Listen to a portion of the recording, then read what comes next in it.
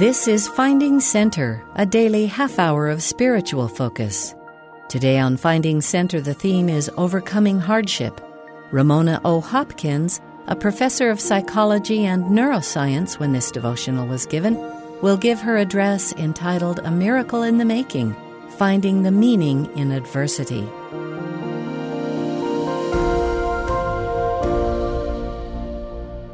When I was young, a young adult, about the age of many of you in this room, I had my life carefully planned out. I was going to become a registered nurse, meet the most handsome and charming man, get married in the temple, and have four children, and have a wonderful life, whatever that meant. I was well on my way. I met and married a terrific man. I had two sons. I was working as a nurse. My life was going according to my plan. July 11th, 1981, was a classic Utah summer day with blue sky and sunshine. A day that starts out cool and crisp, but then the temperature rapidly climbs to the unbearable heat of summer, a harsh reminder that Utah is part of the desert southwest. I'd been married to my husband Scott for over six years. I was 25 years old and the mother of two sons, ages two and four years. We were barbecuing in the backyard with our neighbors, and I remember thinking it was almost time to get ready to work the 3 to 11 p.m. shift as a nurse. Out of the blue, I heard someone yell, There is a child under your garage door. Scott went through the garage to try to get our automatic garage door off the child, and I ran into the house and called 911. This small child was my oldest son, Joshua. Scott tried to lift the heavy garage door up, but was unable to lift it alone. He continued to struggle to lift the bulky door with no success. Suddenly, he saw hands from the outside of the garage slip under the garage door to help lift it off Joshua. To this day, we do not know who those hands belong to. Josh was not breathing and did not have a pulse. Scott yelled for me to come help him. I could tell by the tone in his voice that I needed to hurry. I dropped the phone, ran outside, and began CPR, which the paramedics continued as soon as they arrived. Josh was transported to the hospital in extremely critical condition and once stable was taken by helicopter to Primary Children's Medical Center in Salt Lake City. We were told that he'd suffered a severe anoxia or lack of oxygen to his brain and the doctors did not know if he would live. And if he lived, it was unclear if he would be normal, whatever normal is, and the, as the lack of oxygen had likely caused brain injury. Joshua was, was admitted to the intensive care unit where he remained for about six weeks. He came off the mechanical ventilator and began to breathe on his own, but he was still comatose and did not wake up all at once and start talking like you see in the movies. One iconic day, one of Joshua's physicians told Scott and I that Josh could be released from the hospital and be admitted to a long term care facility. The doctor indicated that it was possible that Josh would not walk or talk again, and they did not know if he would be able to attend a regular school if he ever attended any school at all. Further, the doctor indicated to us that we may want to consider placing Josh in an institution that could provide the full time care he would require. The doctor offered to provide us a list of appropriate facilities that Josh's condition would demand. This hit us like a brick. We had not planned on, nor had the thought crossed our mind that our son would not be coming home with us, and we may need to place him in an institution. This is something we simply chose not to consider, and it certainly was not part of my newly modified life plan. We were young, untrained, and unprepared for the drastic changes and extreme challenges that had come uninvited into our relatively calm life. Even though I was a nurse and thought I knew what to expect, I was wrong. We were completely overwhelmed but we learned to manage our life by taking it one day at a time. Two days was beyond our ability to cope or manage. We took Joshua home and proceeded to embark on a daily course of laborious physical therapy, occupational therapy, speech therapy, cognitive rehabilitation, not to mention having to feed, dress, bathe, and change diapers on a four year old. We had the support from our families, neighbors, and many friends, and even people we did not know, but still the days were long, hard, and exhausting. Progress for Joshua was slow. Occasionally, I would wonder why this happened to a small, fragile four year old boy, to me, to our family.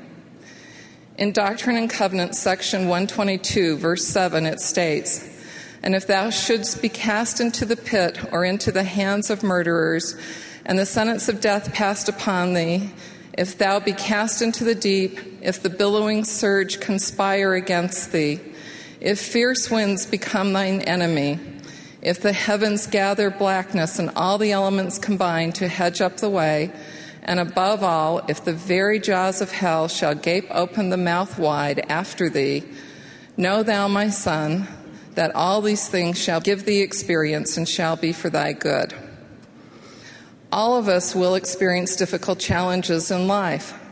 How you deal and overcome with adversity is what is important. Randy Pausch, a computer science professor at Carnegie Mellon University, who was diagnosed with pancreatic cancer, stated in his book, The Last Lecture We cannot change the cards we are dealt, just how we play the hand. Approximately one year after Josh's accident, he attended his first day of kindergarten. Even though now Josh was walking using a walker, he couldn't be considered sure on his feet. He was talking, although his feet, speech was very slurred and difficult to understand. His kindergarten teacher, upon meeting Josh, asked if he was supposed to attend our neighborhood school or the district school for children with disabilities. We assured her that Josh was at the correct school, and she was at the very least a bit taken aback. However, she quickly regained her composure and over time became one of Josh's greatest champions. Joshua continued to slowly improve as he attended therapy. As his physical abilities improved, we added swimming, horseback riding, and skiing to our therapy schedule.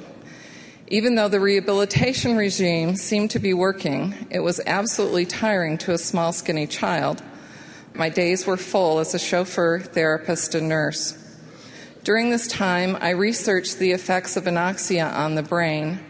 I searched the rehabilitation research literature trying to find the therapy we needed to help Josh. I was surprised to learn there was very little practical information regarding rehabilitation following anoxic brain injury.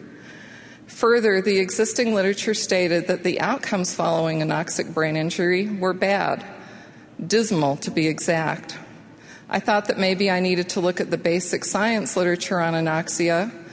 There were scientific articles that discussed the possible mechanisms of the anoxic brain injury, a few articles that provided information about anoxia and associated cognitive, neurological, behavioral, and motor morbidities, of which I was already well acquainted.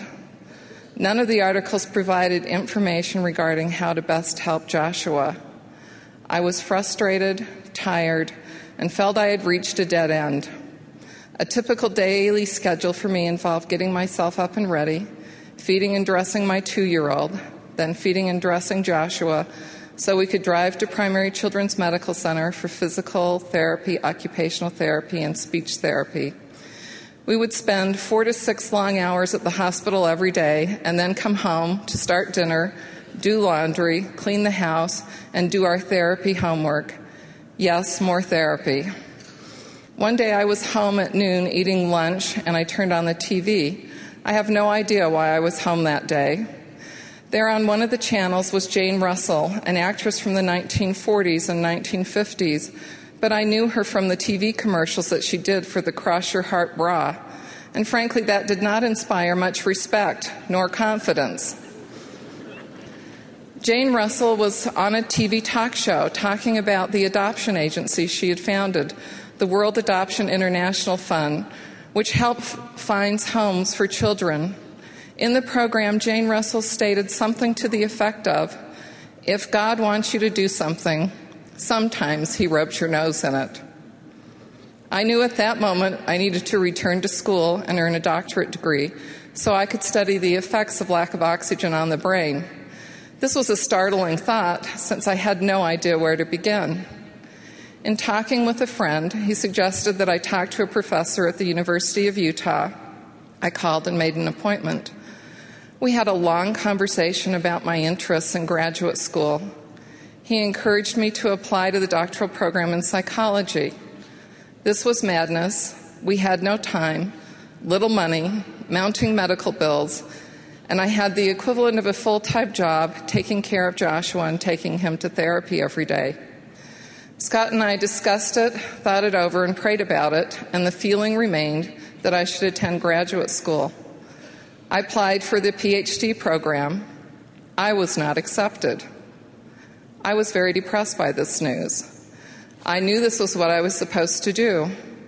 When I asked why I was not accepted to the program, I was told I had no psychology background and they had no basis on which to judge whether I could succeed in the graduate program. It was true, these were facts. I was a nurse.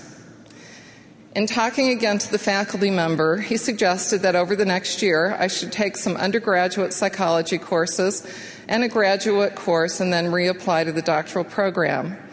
I followed his advice, did well in my coursework, reapplied, and was admitted to the psychology doctoral program the following fall. This was the beginning of a long journey, and along the way, I have learned many lessons, important lessons. Education and learning are one of those lessons. One lesson that was reinforced by this experience was the importance of education and lifelong learning. My father, a former BYU professor, had five daughters and two sons. I'm sure he would have preferred five sons, but life sometimes gives you what you need, not what you think you want. Education was always very important to him, and he taught all of his children the importance of obtaining an education. All seven of his children have earned a bachelor's degree, and three of us have earned advanced degrees. When my now husband Scott asked my father's permission to marry me, my father's response was not, How will you provide for my daughter? but rather, How will you see that she completes her education? Scott assured him that he would see that I did. I don't think he bargained for two advanced degrees at the time. In the Doctrine and Covenants, section 88, verse 118, it says, Seek ye out of the best books words of wisdom, seek learning, even by study and also by faith. Education includes formal classroom education, lessons learned from missions, church callings, travel, parenting, and experience in both secular and gospel knowledge. Elder Monte J. Brough, in a message published in the Ensign in August of 2006, stated Many of the most important principles of intelligence cannot be taught at universities, from books, or through other temporal learning processes. Often these great principles are learned from afflictions, tribulations, and other mortal experiences. All that we learn in the manner will benefit us not only in this life, but also in the next. For whatever principle of intelligence we attain unto in this life, it will rise with us in the resurrection. I completed my doctorate degree and continued to study the cognitive, psychological, and quality of life outcomes following anoxia and other medical disorders in order to improve outcomes for individuals and their families. An important lesson that Scott and I have learned from the changes and challenges brought in our lives after Josh's accident is to keep a sense of humor. When life gets difficult, the tough find the humor. In an article in the March 2000 Ensign by Brad Wilcox entitled, If We Can Laugh at It, We Can Live with It, he writes that humor can help us cope with adversity, help us heal, improve our relationships with each other, and provide a needed perspective on life. My mother had a wonderful sense of humor. When I was in high school, unbeknownst to any of us children, mom and dad decided to redecorate the living room and the kitchen. Upon returning home from school one day, we arrived home to find royal purple carpet in the living room and bright blue, green, yellow flowered drapes in the kitchen. Not just bright, but very bright. The Provo version of Hawaiian Aloha floral. My mother loved the floral drapes. While none of us children were particularly fond of the drapes, my sister Christy was very vocal about it and made it quite clear that she thought the drapes were especially ugly. On most of her visits home to see mom and dad, Christy would tell mom that she should definitely replace those hideous drapes. Mom, in return, told Christy that the kitchen drapes were to be a large part of her inheritance and be sure to remember to take them when the time came. One day in May of 2003, about two weeks before my mother passed away unexpectedly, Mom and I were making plans to redecorate her kitchen. Mom said that when we purchased the new drapes, we should take the old ones down and make shorts out of the drapes for everyone in Christy's family, just like Maria did for the Von Trapp children in the Rodgers and Hammerstein 1959 musical, The Sound of Music. After mom passed away, Christy did in fact receive the drapes as part of her inheritance, as mom had wished, even though it was a joke. At a family reunion the following summer, Christy, Jim, and their children, when they arrived at the reunion, got out of their car and were wearing stylish, bright blue, green, and yellow floral handmade shorts. The importance of service is another lesson learned. An act of service can have long lasting effects and touch many lives.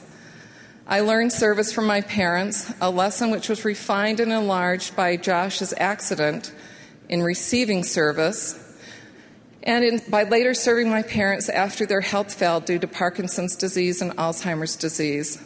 There was rarely a day that went by that my mother didn't call, checking on each one of her children, particularly her daughters. She would always start the phone conversation with, Ramona, it's your mother. A statement that was not needed as I knew immediately who was calling. In a message published in the New Era magazine in April of 2009, President Henry B. Eyring of the First Presidency said, the Lord and His church have always encouraged education to increase our ability to serve Him and our Heavenly Father's children. For each of us, whatever our talents, He has service for us to give. And to do it well always involves learning, not once or for a limited time, but continually. Mom was always serving others, especially her family. Mom was also a registered nurse and frequently used her nursing skills to help people in our family, ward, and neighborhood.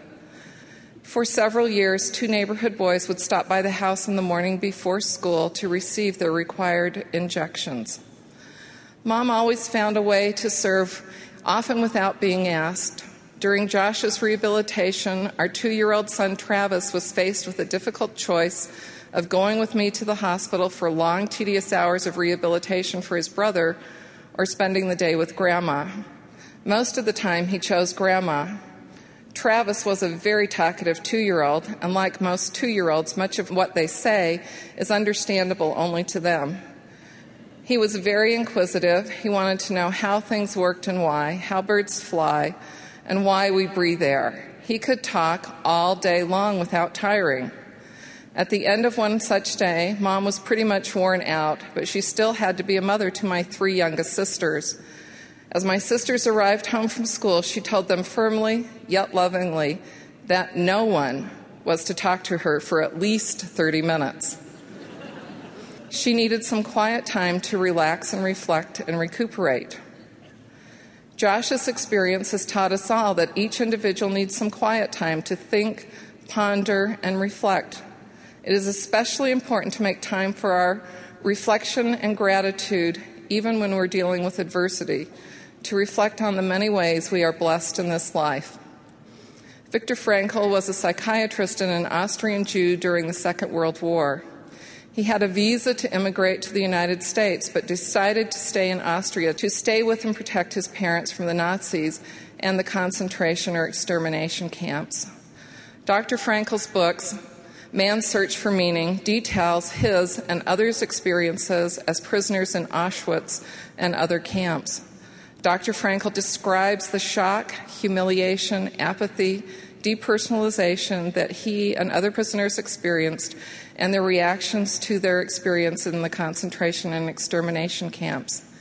He describes their arrival at the camps in overcrowded cattle cars, loss of all possessions, including clothing and hair, starvation, overwork, and many other hardships that were endured for years if they survived in the camps.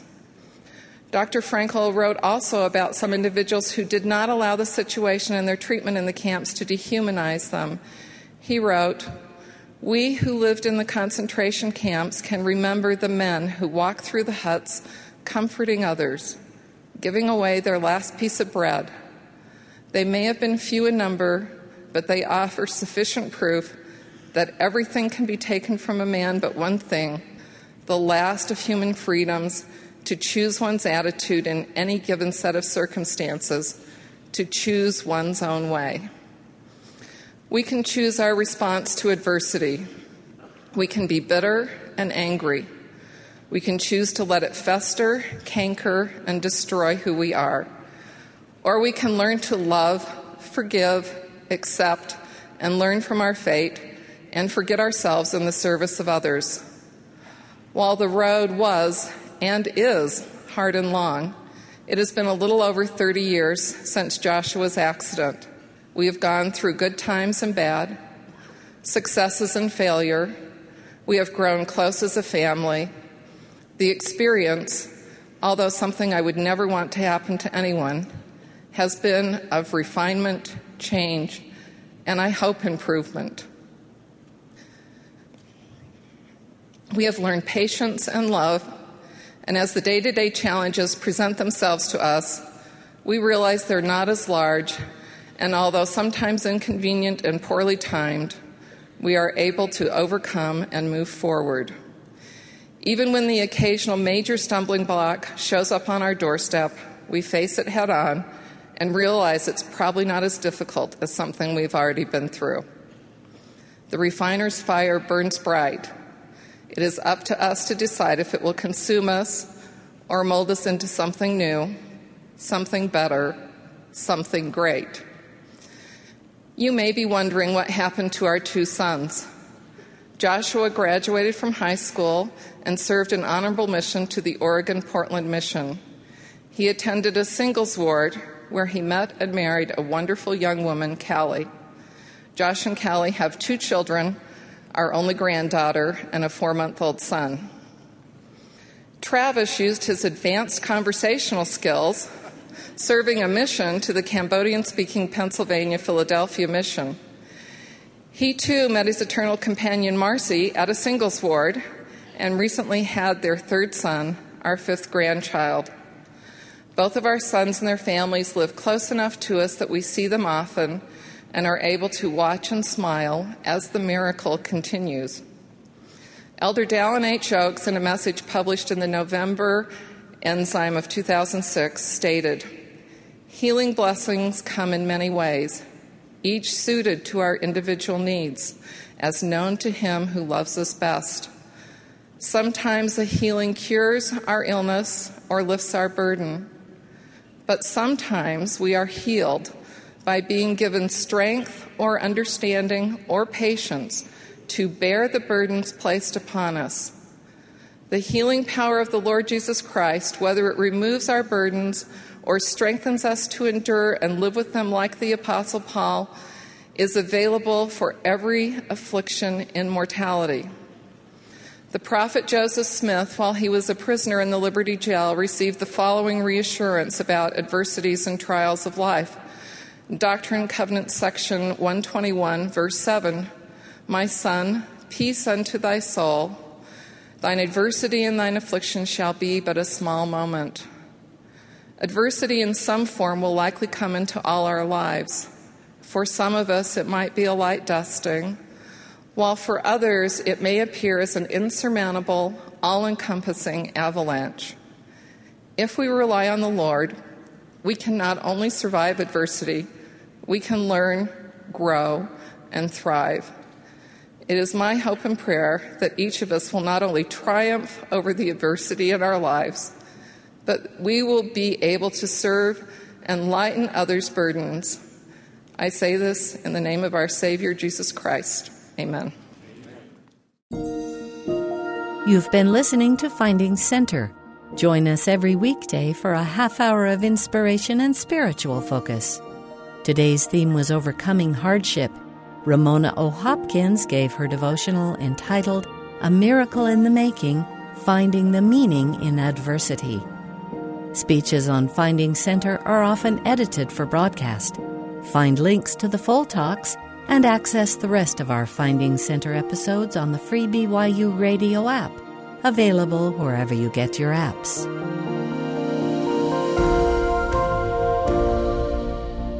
Finding Center is a production of BYU Broadcasting.